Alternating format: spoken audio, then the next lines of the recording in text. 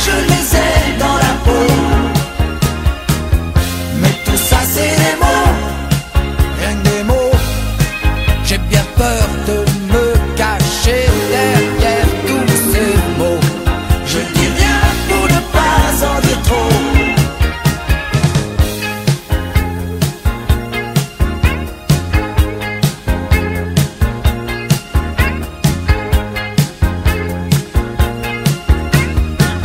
good